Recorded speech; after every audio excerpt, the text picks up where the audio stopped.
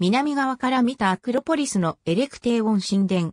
エレクテーオンとは、ギリシアの首都アテネのアクロポリスにある神殿。紀元前5世紀末に完成したイオニア式建築の代表作で、かつてはアテナの女神像が安置されていた。敷地の地盤に3メートルに及ぶ高低差があること、多くの成績と神格の祭祀書を一つの建物にまとめたことなどから、古代には類稀な複雑な構造をしている。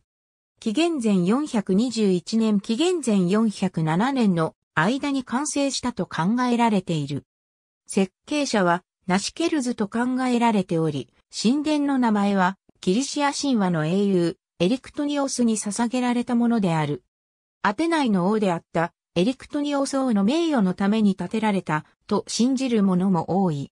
現在残っている神殿は紀元前480年にペルシア人が侵入したペルシア戦争で破壊された後、再建されたものであると信じられている。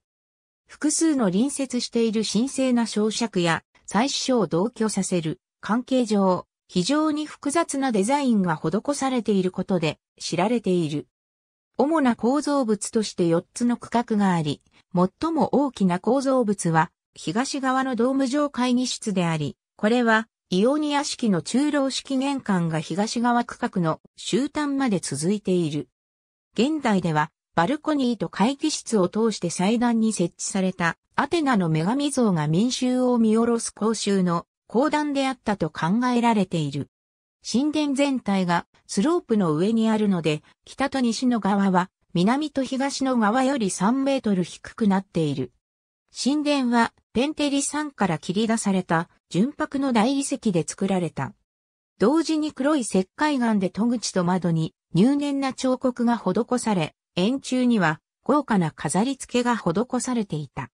金箔をかぶせた聖堂、それに様々な色合いのガラス玉が金メッキされて強調された。建物は卵矢尻装飾、及びギヨシェ回り縁の初期の例として知られている。少女の彫刻が施されたカリアティットの玄関柱北側には円柱を持つ別の大きな玄関があり、南側には有名な少女の玄関がある。六体の少女の姿の柱像があり、最も細い部分は首で、彫像でありながら、玄関の屋根の重さを支えるように設計されている。玄関は建物の規模が縮小された後、ケクロピオンの南西の角を支えるのに必要な直径約4.5メートルのビームが設置されたが、後に起こったペロポネソス戦争のために予算の規模が縮小された。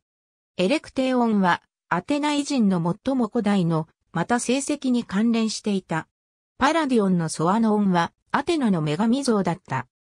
ポセイドンのトライデントと塩のマークは、ポセイドンの打撃によって生じたとされ、聖なるオリーブはアテナがポセイドンとの競争の際に、アテナの槍でアテネの岩石を砕いた後、そこから発芽した神聖なオリーブ、ギリシア神話の王、ケクロプス及びエレクテウス王の埋葬地、ケクロプス王の三人の娘であるヘルセ・パンドロソス、アグラウロスを祀る場所、アテネの英雄パンディオン王とブーテースを祀る場所とされていた。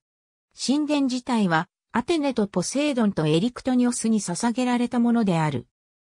神殿内には神聖な蛇が生息しており、セクロプスの精神を表して、町の安全のためには、神殿の幸福は必要不可欠であると考えられた。蛇の餌は、蜂蜜のケーキで、都市国家アテネの役人によって与えられた。都市国家アテネの巫女は、英雄ボーテスの子孫とされる古い家系の女性たちであった。蛇がケーキを食べることを拒否することは、不吉な前兆と考えられた。ありがとうございます。